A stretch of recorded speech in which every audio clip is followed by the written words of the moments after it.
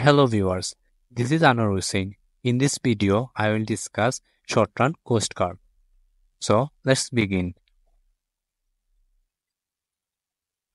A short-run cost curve is a graphical representation of how a company's total cost changes as the level of output increases within a short time frame and at least one factor of production is fixed. Here is the classification of short-run cost curve. There are three main short-run cost curve. They are total cost curve, average cost curve, and marginal cost curve. Here, total cost curve is divided into total cost, total fixed cost, and total variable cost. Average cost curve also divided into three curves. They are average total cost, average fixed cost, and average variable cost. Each of these curves represent different aspects of firm's cost structure and production decision in the short run. Let's discuss this cost curve step by step. Total cost curves comes first on short-run cost curve.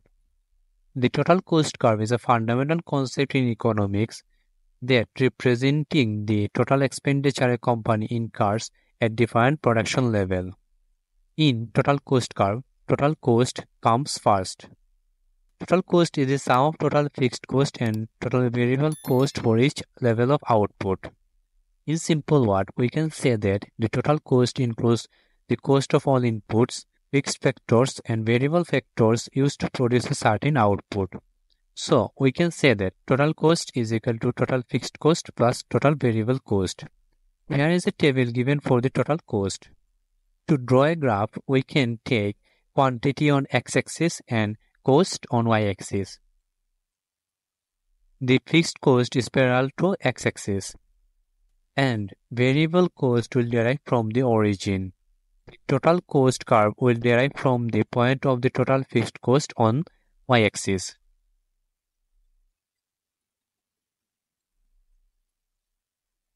The second curve of total cost curve is total fixed cost.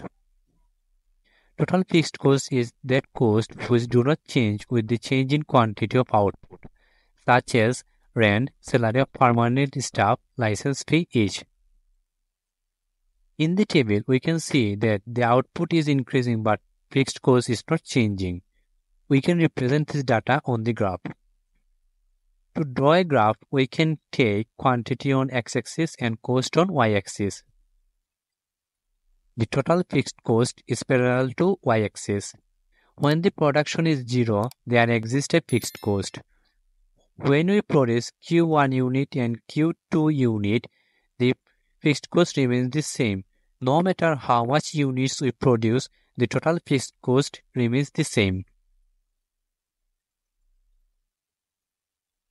The third cost of total cost curve is total variable cost. Total variable cost is that cost which change with the change in quantity of output, such as raw materials, wage of casual labor, each. In the table, we can see that as the output is increasing, the cost is increasing as well. From quantity 1 to quantity 4, it increasing in diminishing rate, then increasing in a increasing rate. To draw a graph, we can take quantity on x-axis and cost on y-axis. The total variable cost is derived from the origin. When the production is zero, cost is also zero. As the production is increasing, cost is also increasing. Average and marginal cost curves. The average cost curve is the average cost per unit of output change as the production level increases. The first cost of average cost curve is average total cost. Average total cost represents the average cost per unit of output produced.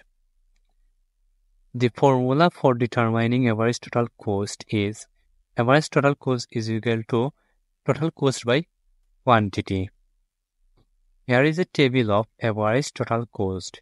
In the first row, we divide total cost 12 by quantity 1 and the average total cost is 12. Then when our quantity is 2, we divide total cost 24 by quantity 2 and the average total cost is 12. And In the same process, when our quantity is 3 and total cost is 42, we divide 42 by 3 and our average total cost is 14.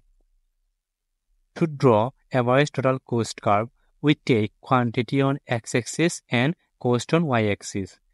The shape of average total cost curve is U-shape.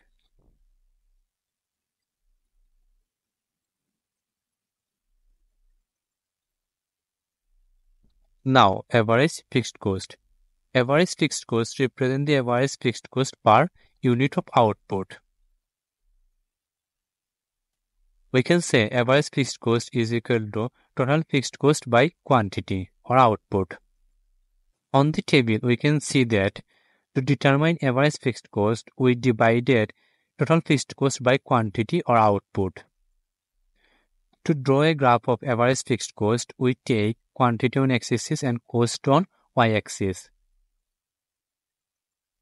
Since fixed cost remain constant regardless of output, AFC decreases as output increases, resulting in a continuously decline curve. The shape of AFC curve is hyperbola.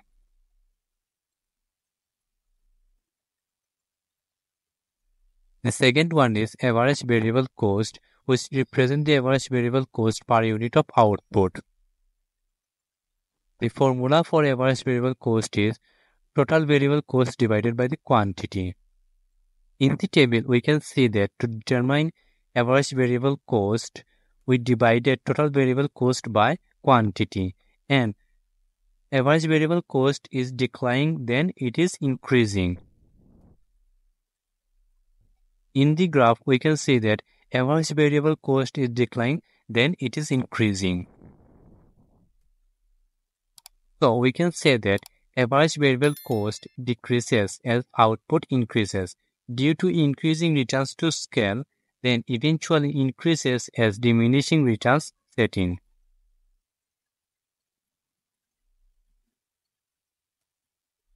Now let's talk about marginal cost curve. Marginal cost represents the additional cost incurred by producing one more unit of output. This means if we produce an extra unit of output, then what will be the cost of the extra unit? So the formula of marginal cost is change in total cost divided by change in quantity. There is a table of marginal cost. We can see that the marginal cost of first unit is null we can calculate the marginal cost of first unit because we know that marginal cost is equal to change in total cost divided by change in quantity and here total cost and quantity is not changing. On the graph, the marginal cost is typically U-shaped. Now, we will see the relationship between total cost, average cost and marginal cost. First, draw the total cost curve. The total cost curve is in the above and the average and marginal cost curve is in the below. This is the total fixed cost. On the total cost curve, we draw two lines from the origin which will be tangential to total variable cost and total cost curve. From the tangential point of total cost curve, we draw a line to the marginal level average cost curve, which intersect the average cost curve in its minimum point. And then we'll draw another line from the total variable cost, which will intersect the average variable cost at its minimum point. At the point of inflection of total cost, we will draw another line which will intersect the marginal cost at its minimum point, and the marginal cost curve intersect both average variable cost and average total cost curve at their minimum points from below. That's all for today. Thank you everyone for staying with me.